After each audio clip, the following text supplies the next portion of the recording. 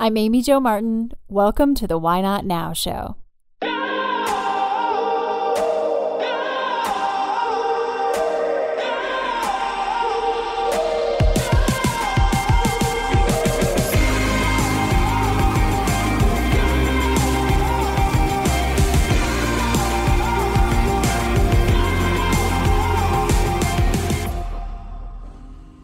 You know that thing you've been thinking about doing? Yeah, that one. Why not now? Have you ever actually taken the time to ask yourself, what's stopping me? Let's talk it through. This is your chance to give that idea the attention it deserves and take action. Each episode, I have a chat with a fascinating person, from entrepreneurs to athletes, celebrities, my parents, rocket scientists, and all walks of life. We talk through a critical time when they've asked themselves, why not now? We dissect that day or even that moment, step by step.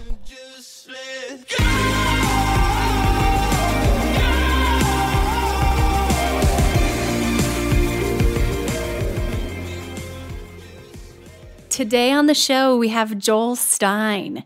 He is a very talented journalist, written for top publications across the globe for years.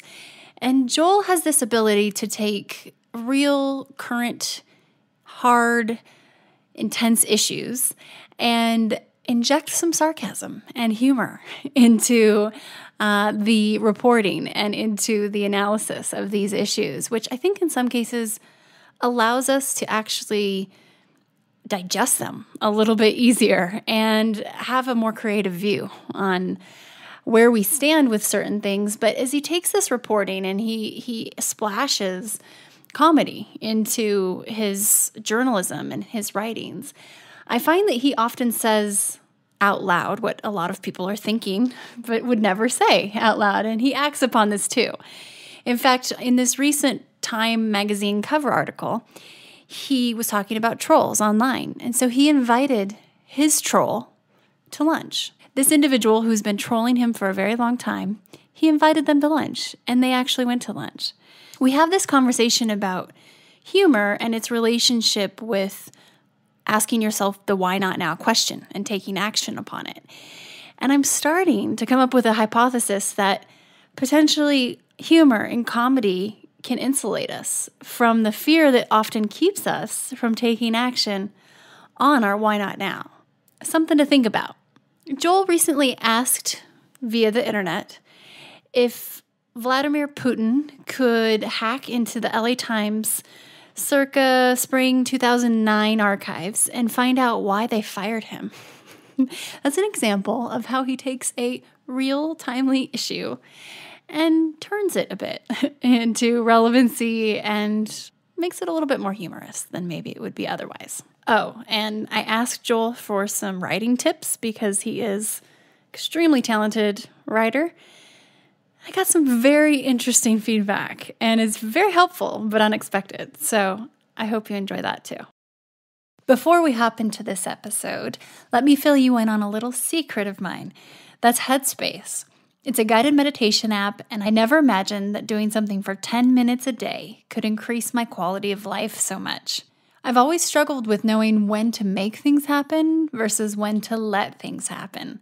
Sometimes things go very well when I push on the gas, and sometimes not so much. It gets me into trouble.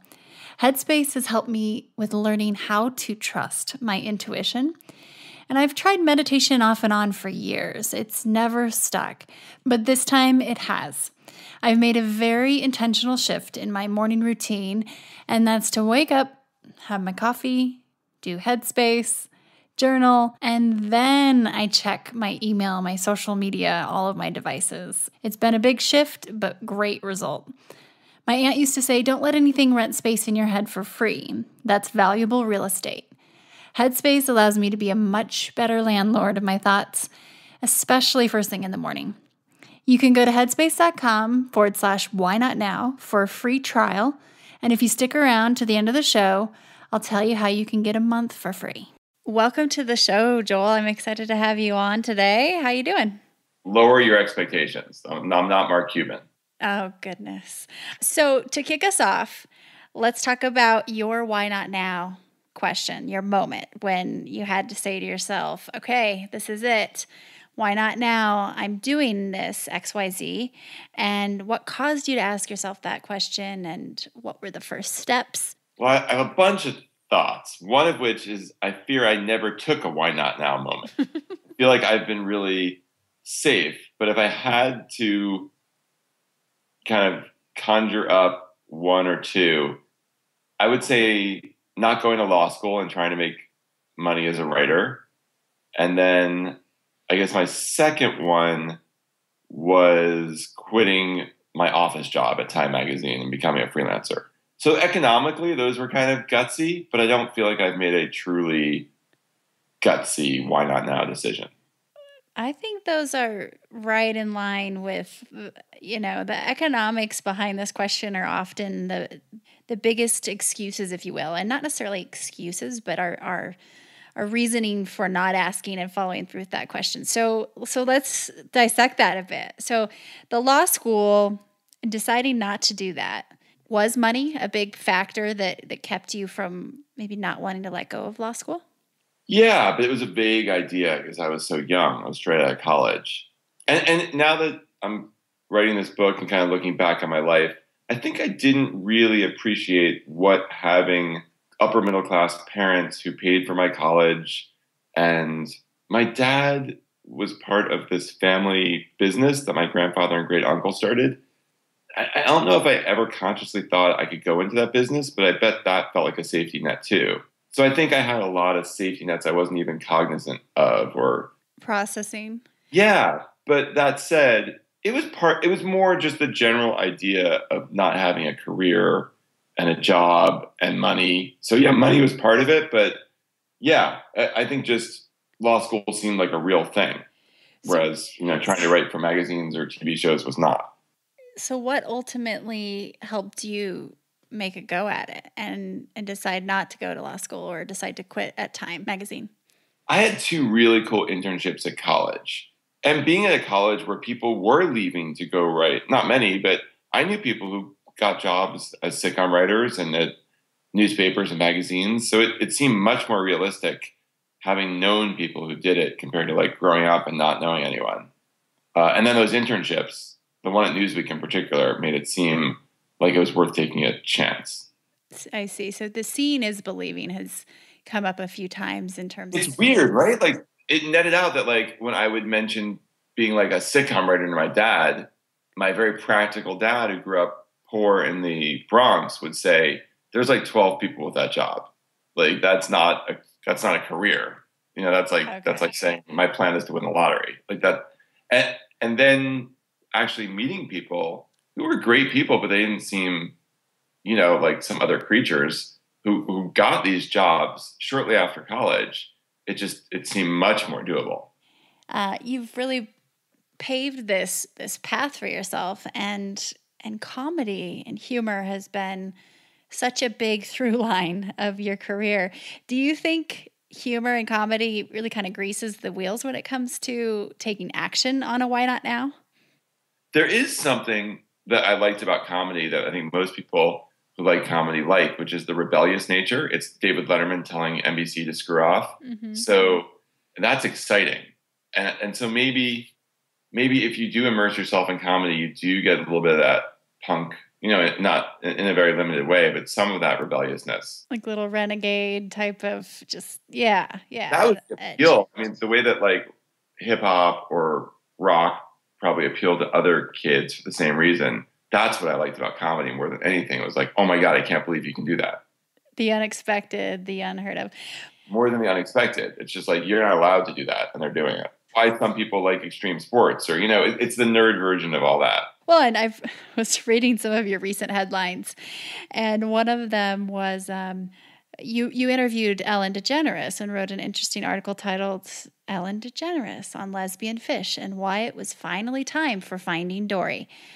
Which just the headline is funny. And and then reading along and where did you get that idea to to actually dig in to that angle of the story? Oh, you know, I, didn't. I was assigned that story. I'd never even seen Finding Nemo, so I went to the screening and I saw Finding Dory. I actually, saw them backwards, and I saw Finding Nemo that night. And I talked to her, and like literally that day on the news, it broke that there the trailer had lesbian in lesbians in them, right? And so when you were given the assignment, sorry, just to to clarify, what was the assignment? oh, like go interview Ellen DeGeneres for Finding Dory. Period. okay. Yeah. No other uh, angles to. Okay, go ahead. Sorry. So so then the. Ah, that's more than you always that sometimes get. Um, and so so I saw these news stories about lesbian fish, and so I asked her about it, and and she had not read those news stories yet. It was just that day, so I was the one telling her about misinforming her about the lesbian fish because it turned out it was lesbian humans that people were upset about. Um, so yeah, so I broke the news to her, and she was very funny about it. So so I used that. How there wasn't a lot thinking involved. Gotcha. How did that go down? So that conversation. Oh, I guess I was. Yeah, I guess I was a tiny bit nervous. Seems touchy. I don't know. Uh, she she found it hilarious and kept bringing it up. Every time I asked something else, she brought up the lesbian fish.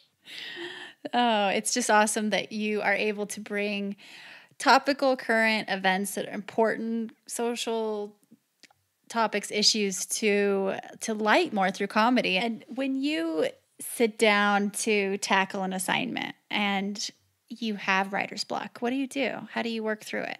Oh i think writer's block is um, not real. Oh tell, tell me about this it's you ever have like workout block where you can't get yourself to go to the gym totally it's very similar to writer's block or not eating chocolate block. They're all very similar block, and they all can usually be overcome by uh, money or yelling or motivation, maybe. Um, that's a great point. I I now um, will think about that differently. The writer's block is an excuse. Yeah, there's no muse that's going to show up if you wait long enough. I think what people are talking about when they talk about writer's block is the is a misunderstanding of what writing is writing isn't the typing part.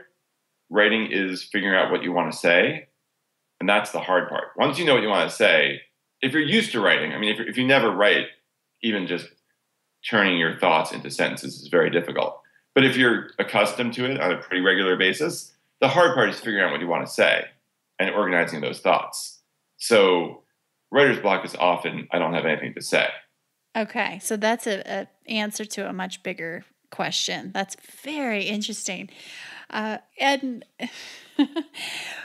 changing gears for a minute here. When we first connected, I think it was because if I'm dating, it's probably 2009 ish, 10 maybe, you were writing an article on Shaquille O'Neal, um, or you needed him to to share something, maybe write in his own words. I think I talked to you long before that. Okay, well, poss- quite possibly. Um, well, and we, yeah, we we worked on your personal brand. I remember you asked for. I think that's first called you. Yeah, and um, you had asked for some advice, and I'll never forget. And I use this in my talks all the time when I'm talking about humanizing brands. But you were kind of like, okay, what is this brand thing? And and you had already had huge following on Twitter, and you already had your brand, but you may not have realized it, or you may have just been wanting an experiential conversation on branding. But I said, okay, we're going to define your personal brand and talk it through. And you had this kind of aha moment of, so what is a personal brand audit again? And I talked, I explained, and you said, so isn't kind of the ultimate personal brand audit your funeral, a person's funeral? oh, yeah. it was so profound because you're right. I mean, literally, uh, at the end of the day, at, at the end of the life who shows up, how they feel about you, what they say, who doesn't show up. That's a pretty good assessment, right? I know. And when I do think about about that, I think about the fact that you can buy a Mets casket. And I'm like, I just think that's that's not what I'm going for. Like I don't want my whole life to be defined by being a fan of the, the New York Metropolitan. That's quite interesting. I didn't know that that, that was the case. I mean, yeah. Literally the case. yeah. Pun intended. Personal brand thing freaked me out when people started talking about that. Eh, how do you feel about it now? Sad, but accepting. Okay. Yeah, it is a thing, isn't it? Your digital footprint. It's it's amazing how far it's come. And so last we spoke a month or so ago, you were writing this article on internet trolls. Oh yeah, I handed it in. You did. I still have a couple things to do, but I handed it in. It was a it was a really nice way for me to um, uh, procrastinate even further on my book. because it was like, oh, a Time article. I know how to do that. So it wasn't writer's block. Uh, so that was your form of writer's block at the time for your book, right? Oh yeah, I totally learned that one way to get myself to procrastinate more efficiently is to do some other work that isn't due. So I'm procrastinating because of panic usually, or not knowing what to say. So if I can use the procrastination to do something that isn't so scary, possibly because it's not due for a long time or it's easy, I'll go do that.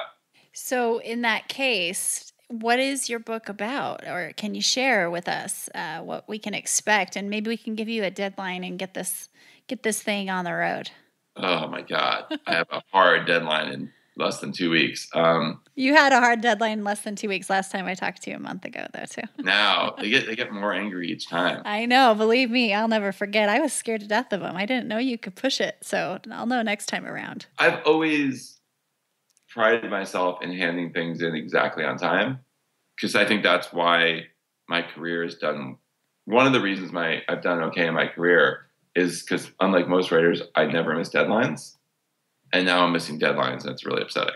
So, what is this book about that's that's causing this problem? Okay, so I sold my first book, didn't sell that well. Then the publishers from that same book offered me another book deal for like half as much money, but it was still really nice of them.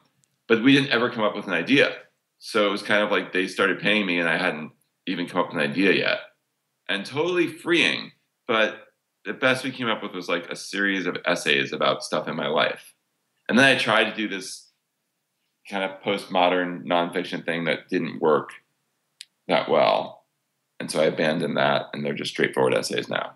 Gotcha. And the essays, is there is there a theme? No, that's there should be. There's no reason to read this book. There's no theme. There's Oh, we need to go back to our branding conversation, marketing right now. No, no more of that. You can't be saying that. I believe there is a theme. Um, there's a reason why people are following you. Now we're going to turn into a motivational kind of banter. Um, and maybe it's just time to let go of wanting a theme. Yeah, no, I have let go. And I've also written a lot of so my my new strategy has been to write a lot of words, hoping that some of them are okay. So I've written, I want it to be a short book because it's just funny essays, right? I don't want to read a long book of funny essays. And uh, so I've written, I think I've written two books worth of stuff, hoping there's one book in there.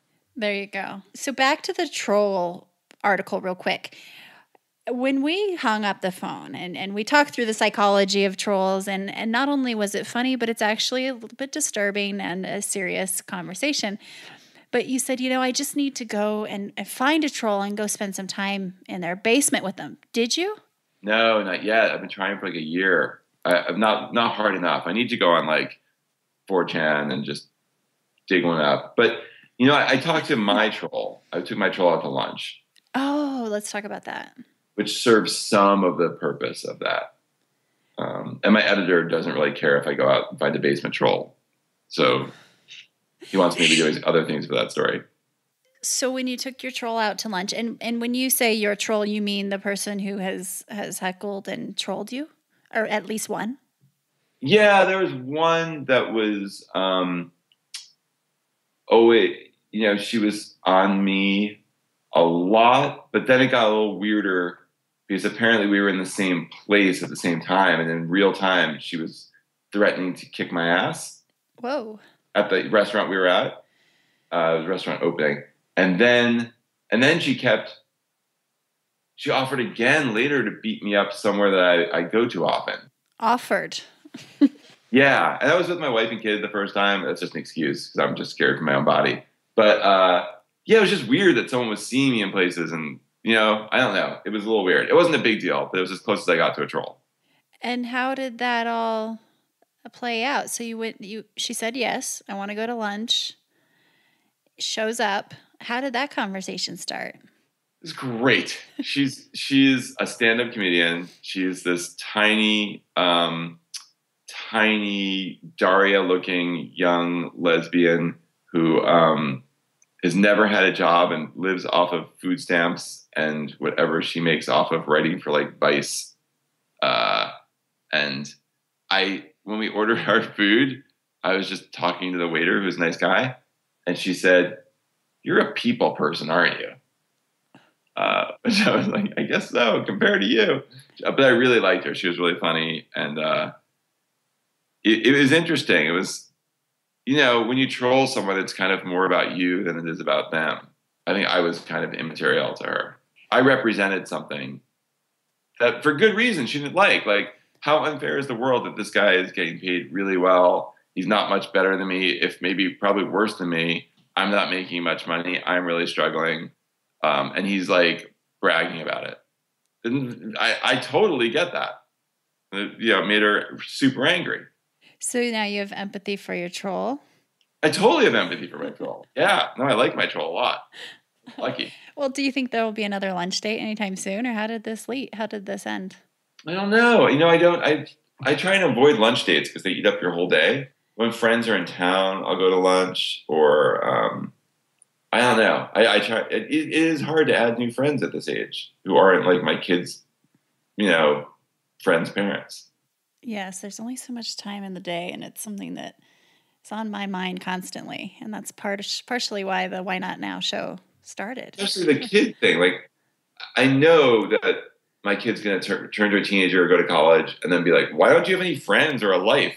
And I want to be like, because of you. Like I used to, and then I didn't, and and now I never will again. oh, you have a, a, little bit of time to make some friends before then, so you can add that to your list of things. But not like friends like I used to have, who were a big part of my life. Mm-hmm. Mm-hmm. Now it's like let's catch up. Like I used to, I used to, you know, you know, you know how life yeah. works. You read about it.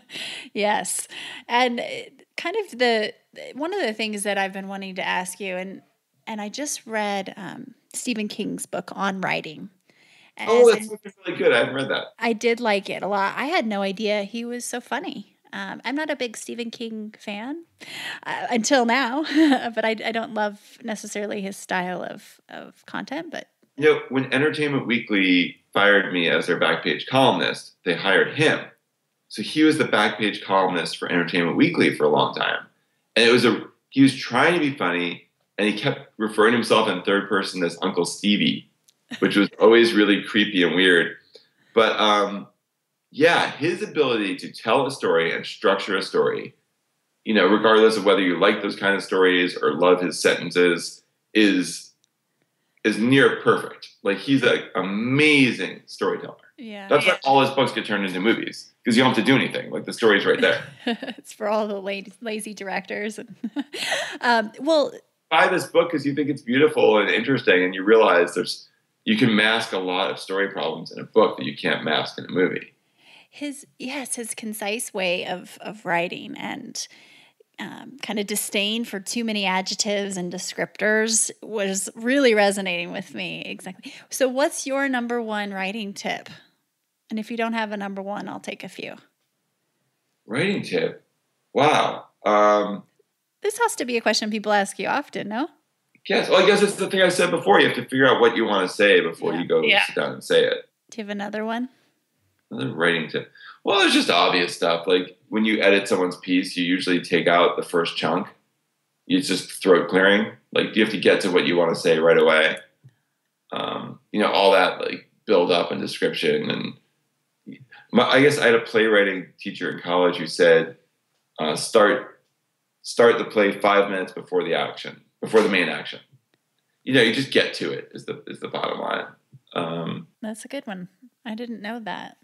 I mean, I, I hadn't heard that one before. Yeah, everything else you've heard a million times, like show don't tell, or uh, what are the other trait things people say? They're all true. So all the the cliches that we could Google. Okay, you don't have any fancy secrets other than there's no such thing as writer's block it's largely a uh, you know try and tell the the hardest truth you can. Try and have amazing. A lot of writing is just empathy. It's just like trying to figure out how other people feel. It takes a long time. I always forget how long it takes to write. I'm like, I'm gonna write this book chapter today. And then like 10 days later of me writing every day, I'm like, I don't understand why I'm not getting this done. Have you ever considered going into other mediums because of that? I mean, you have dabbled in TV, of course, but um podcast or anything like that? Yeah, I did a podcast last year. Oh, okay. Sorry about that. No, no, no, no. It was behind the paywall, and we. It took me 18 months to make five of them. So it was uh, it was insane. We tried to do a very This American Lifey over-reported kind of thing. It was it's similar to other stuff I've written. It was called um, "What's Wrong with Me," and so in each episode, I tried to improve something about myself. And that ended. Did it just uh, wrap up? The project was complete timeline wise, or did you decide to end it? Uh, I I agreed to five. Okay, gotcha. At the get go, and then if if it had been a huge hit and easier to do, I would have totally made more. But it was neither of those things. I see. I saw your millennials, um, kind of the day in the life of a millennial video, and it was funny. So I wrote this cover for Time on Millennials, and the website was like, "Would you please make a video?"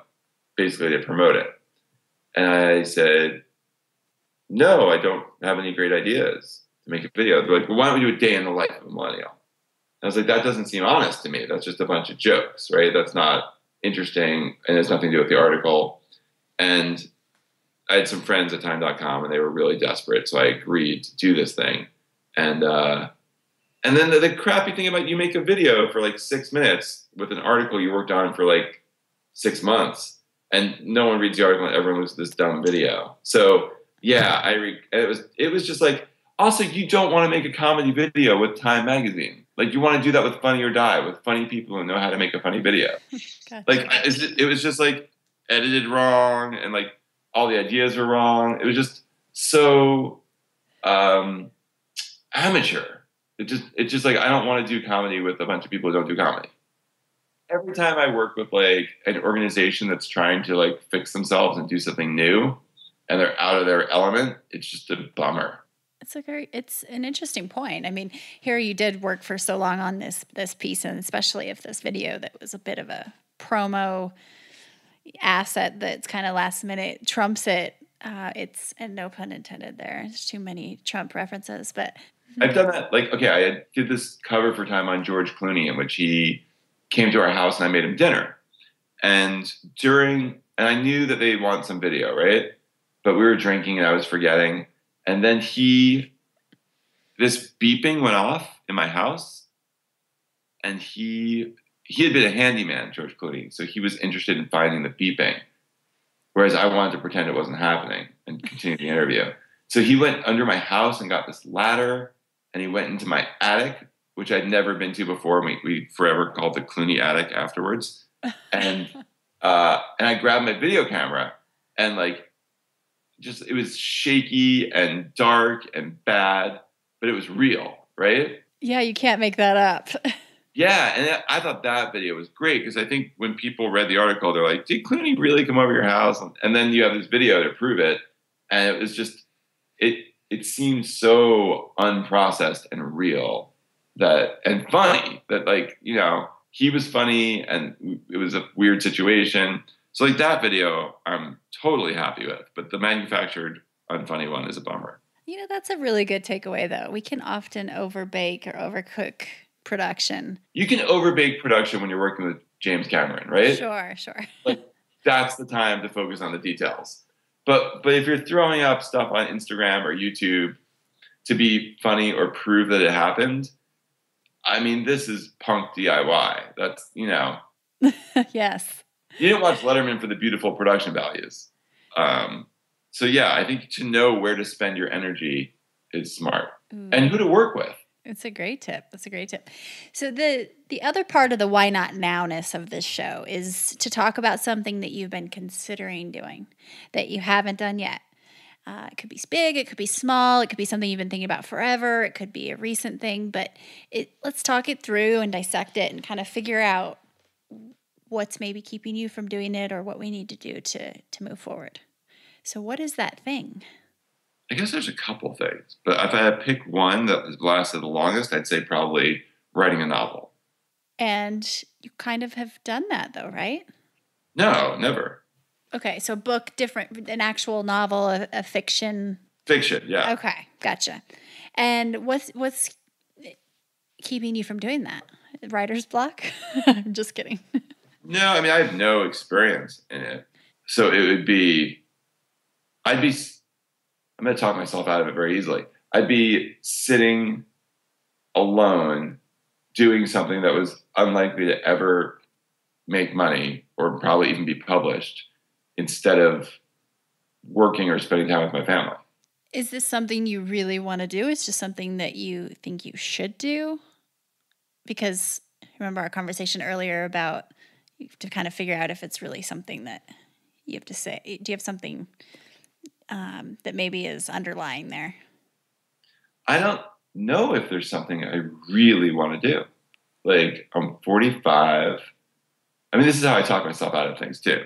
But I just feel like I don't know if there's something I'm burning to do that I'm willing to really sacrifice for.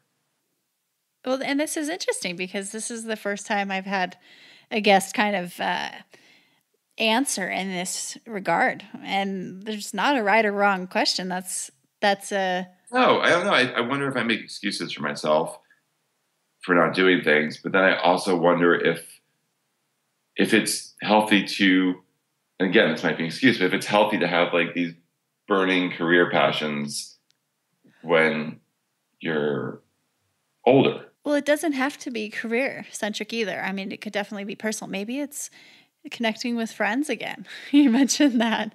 Or, or it'd be like one thing I did in that podcast for my fifth episode was try to give back, which I never do. So I try to be useful to the world in some way. Um, and I think that that might be fulfilling. That might be what I should be doing. Absolutely. I think it would be fairly easy if you thought it through and concepted a bit on how to kind of bake that into your existing day life world, you know? Yeah, I found something that kind of worked well, but I think there's probably other stuff I can do. Um, so yeah, I don't know. I don't know, man. Well, let's go with that one for a second. So, what would be the first step? Let's say you you decided I do really want to give this a go and um, and find a way to bring in uh, more uh, purpose and give back into you know my day what would be the first thing you think you would do? Would you talk to your wife about it? Would you um, talk to, you know, peers, just sit down and, and, map out some ideas? That sounds like a logical way of doing it. Um, I, yeah, I have some friends who've gone into government recently, into the State Department. Uh, it's probably not a place that would have me because of stuff I've written, but I don't know. I, I think after the little exploration I did, the most use I can provide is just to give money or raise money. Sadly, um, I thought I had my skills are limited, so I sat with a bunch of kids uh, and helped them on their college essays. And I was like, oh, this is a very specific skill set that I have, writing about yourself. Um, so that I felt useful there. I think. I mean, I don't really know if those kids got into those colleges or even even finished the final draft of their essay or what they did. But it, it is surprising how useless my skills are. Like I don't have that many skills that I can use to help people. You are so humble and we need a little confidence session here. no, but I mean think about it. It's not like even I thought about, oh I'll write your like press releases, your brochures for your NGO. And it's like I, I could probably do an okay job at that. But like my real skill of being like writing funny, self-deprecating essays is not what they want. Well, I think just your your mentality and the way you look at things, the lens that you have brings a, really interesting, lighthearted humor comedy to the to the scene. But I think actually you might be surprised how that could be applied when whether it's a um, a nonprofit or it's you know helping from a a messaging content standpoint just your time of, hey, I know you're trying to solve this big problem, XYZ brand or charity. Um, happy to, you know, see what I can do to help with a phone call for an hour or something like that. You might be surprised.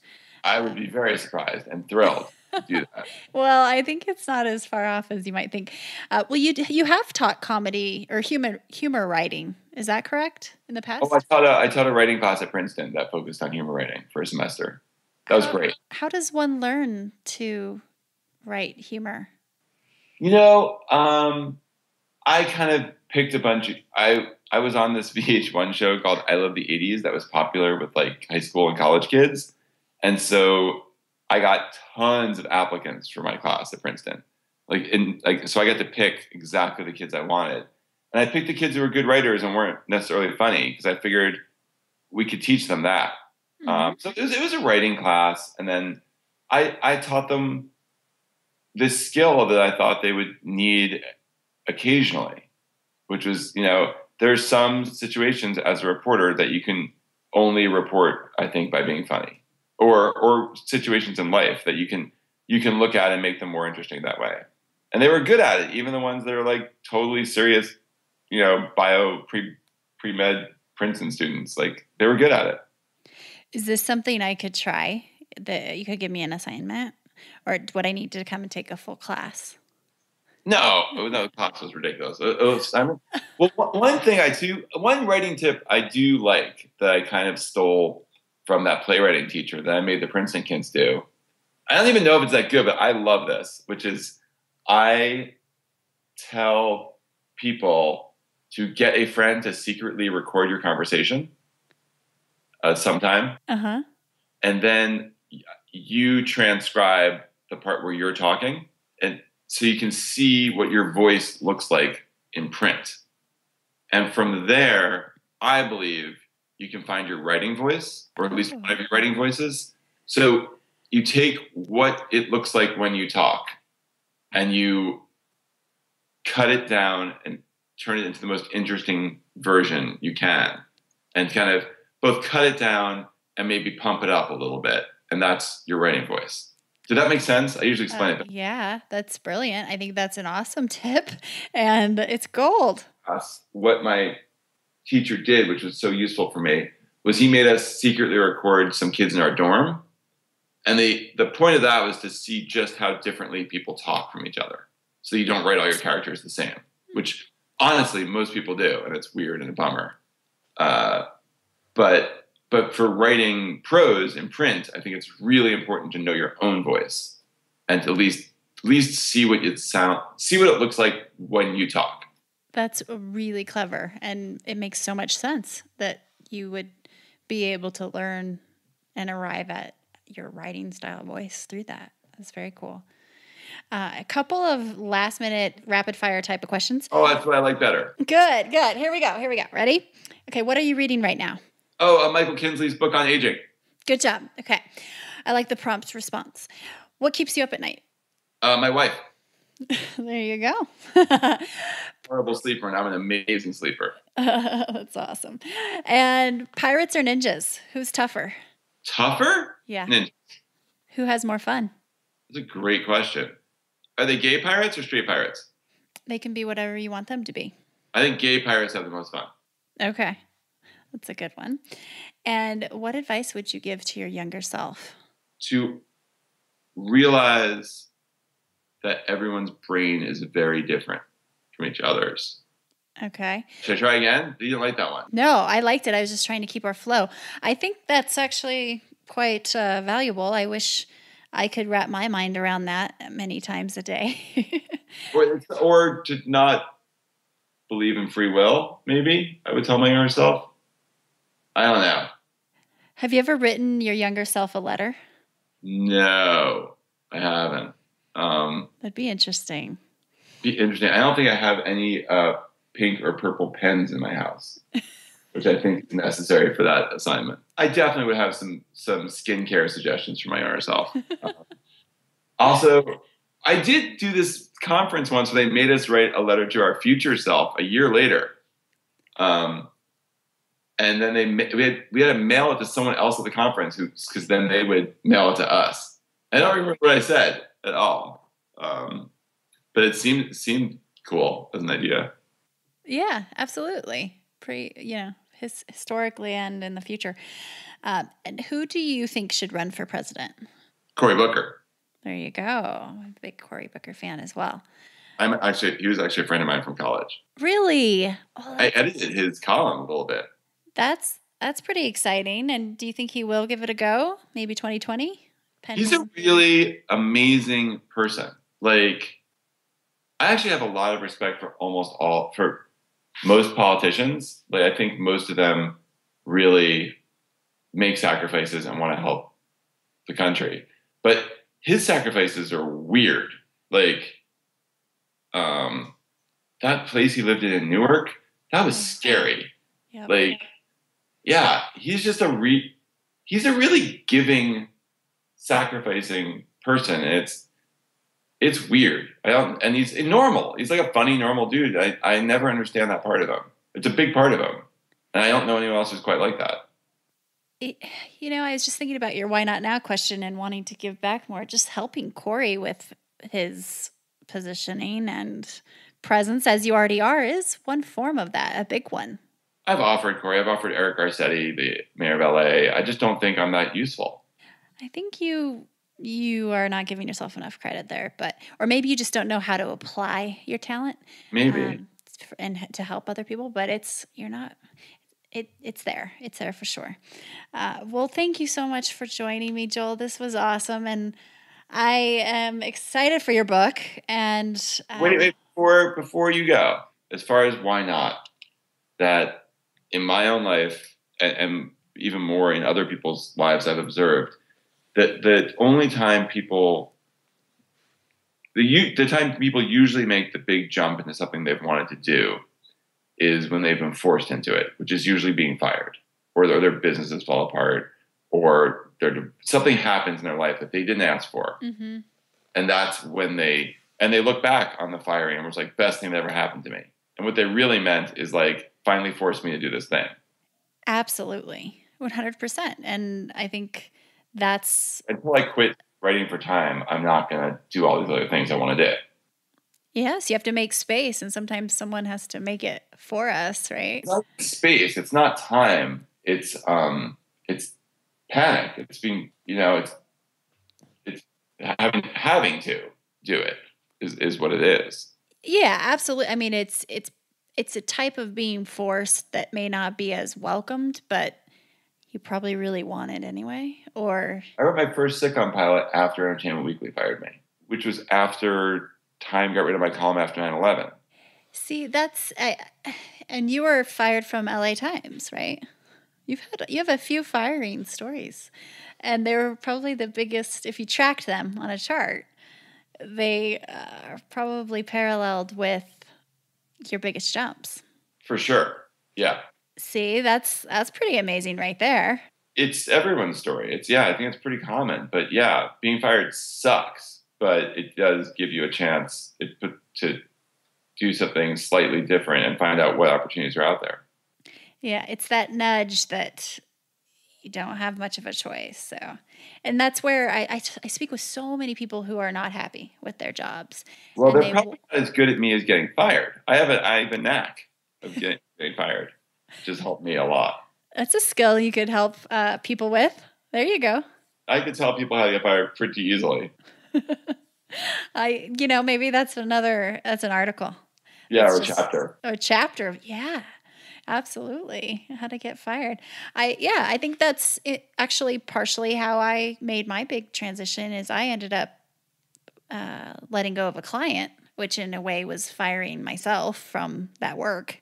And, um, and there were some pretty big transitions after that. And it's, it's a hard stop usually that creates that inertia that, okay, shit, I've got to go do something else now. Yeah. Interesting. Well, we figured it out. All right, I'm gonna get fired. Okay, me too. it's good to talk to you, Joel. Talking to you too. Bye bye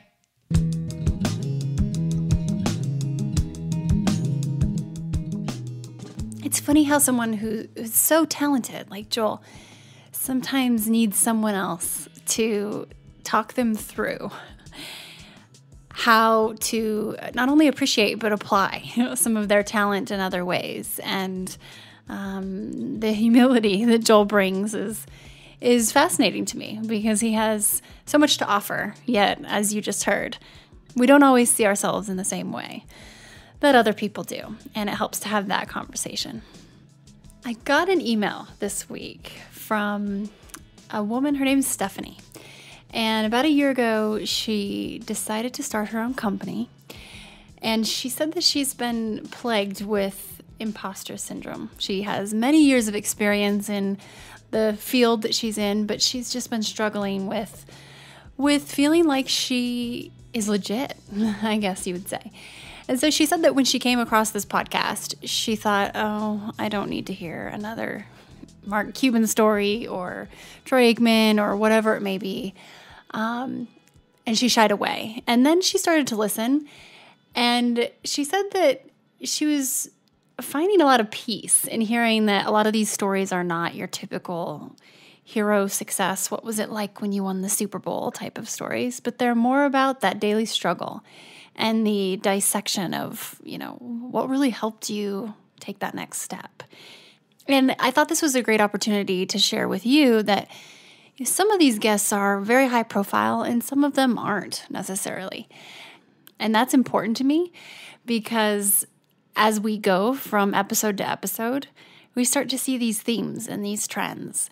The labels that we put on people and these pedestals that we often put on people, um, they just are, are really not valuable. and they start to uh, distance us from what really allows us to understand that we're all the same and we all struggle from the same things. And it's important to hear the whole story, not just the good, but also the those times of struggle and those learning moments. They're the most valuable and help us kind of take that next step. So Stephanie, thank you so much for reaching out. Quick Shelfie Club book club update.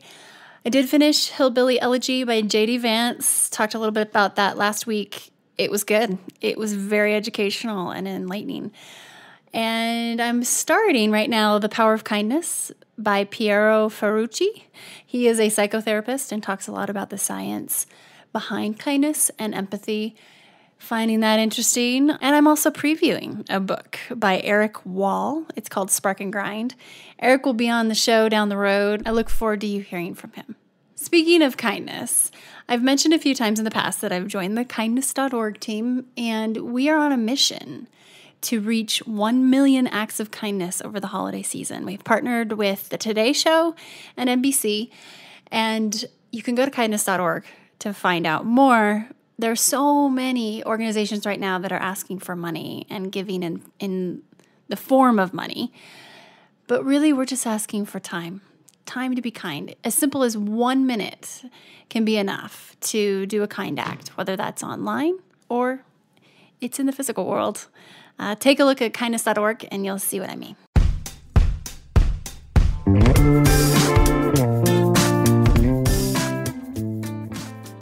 I want to hear what your why not now is. Please share it with me on Twitter, Instagram, or Facebook at Amy Jo Martin. I'll send a signed copy of my New York Times best-selling book, Renegades Write the Rules, to the first 200 people who listen, rate, and leave an honest review of the podcast in iTunes. And you'll also get a free month subscription from our friends at Headspace. This is only available to Why Not Now listeners. Once you've left a rating and review on iTunes, just email your iTunes handle name and your mailing address to whynotnow at amyjomartin.com, and we'll get your package in the mail to you. For detailed show notes, head to amyjomartin.com forward slash why not now. That's where you'll find links to things we discussed on the show, special offers, and how you can keep in touch with guests. Hat tip to my buddies Ash and Devin at Rock Salt Music for our tunes today. You just listened to the talented John Coggins in Let's Go and Let It Ride. And a jump high five to my talented husband, Richard Greer, for producing the show and being patient with me. See you next time. Until then, why not now?